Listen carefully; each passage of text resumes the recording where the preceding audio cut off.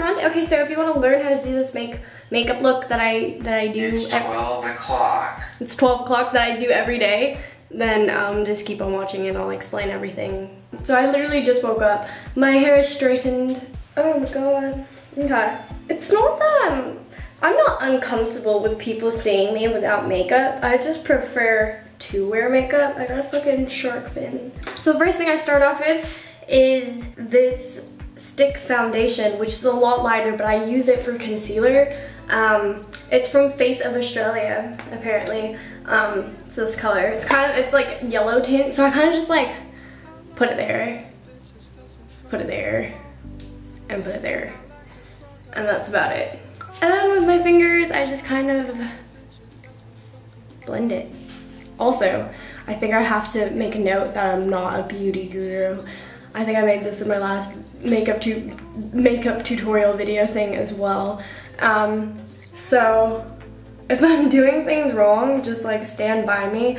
And another note, I don't use um, expensive makeup. I don't like using expensive makeup because I don't feel the need to spend money on expensive makeup. So after that, I use um, this BB cream by Maybelline New York. This one, and it's shade medium deep because I am a tan individual. I don't use a lot of this at all because I like it a lot and I don't want to waste it. So I kind of just get about that much, which is not too much. I get a, the butt of a beauty blender. And I kind of just, I think you're supposed to wet beauty blenders, but I don't because I'm me and I do everything wrong. So, also, if you guys want more, I guess, makeup videos or like how-to videos, like how I do my hair and stuff like that, do let me know and leave a comment and let me know. And if you see a comment that is already down there and it talks about um, what people would like to see and if you want to see it too, like that comment so I can actually see it as well. Alright, so after that, then I add this powder, which legit was five bucks. Um, sometimes I use this part powder, which is four bucks. So it depends whether I want to feel like a dollar more expensive or not. If I want to feel like five dollars or four dollars. Um, but I'm gonna go for five dollars today. I'm kidding. Um, and I just kind of just have this like little spongy thing, which I've used way longer than I should have. And then I just add this all on. The one concern I have is whether the color of my face matches the rest of my skin. Because I wear makeup and because the makeup products I have, SPF, like, you know, like kind of sun cream in it, so like sun protection, then my face does not tan and then it stays a lot whiter than the rest of my body. Um, and I just want it to match, but I think I do an alright job. Sometimes when I wear too much makeup, then it doesn't match as well. That's why I put very, like a light layer of makeup. So that's foundation and everything. That's the skin complexion done. So after that, I do eyeliner, because while my eyeliner dries, then I put my eyebrows on, and then I can put my fucking mascara on. Okay, so in the last video I used tape, and I only used it because I was using gel. Now I use liquid just because it's quicker. I kind of just do it like this, okay.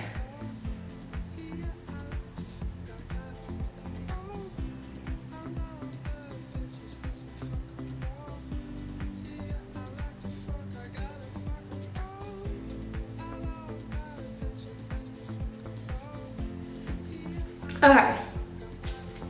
I kind of just stopped halfway because I realized I forgot to do my white corners.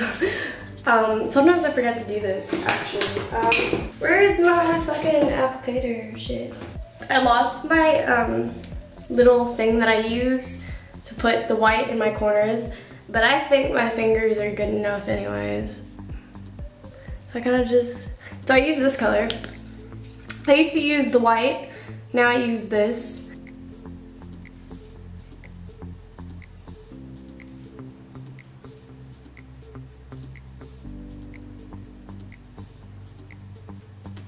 I feel so weird being so close to the camera, but